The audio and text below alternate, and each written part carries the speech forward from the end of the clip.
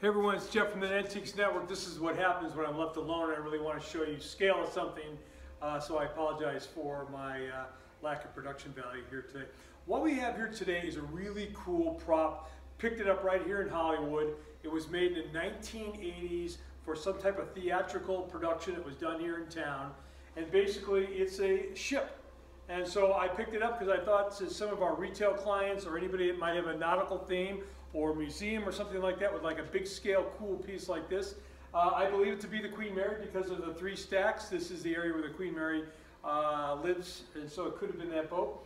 Um, it is nine feet long. It stretches out nine feet long, and it's six feet tall. As you can see, it's like a, a, a divider, a, a, dressing divider that you would have. So it's bent in different angles like this, so it all folds up accordingly. And then the finish itself is almost like a uh, oil paint canvas type of finish. Um, so it's really cool. So if you got any kind of retail store or you're looking for something for your museum or want some kind of big structure uh, in your collection, this might be for you. Ships ahoy!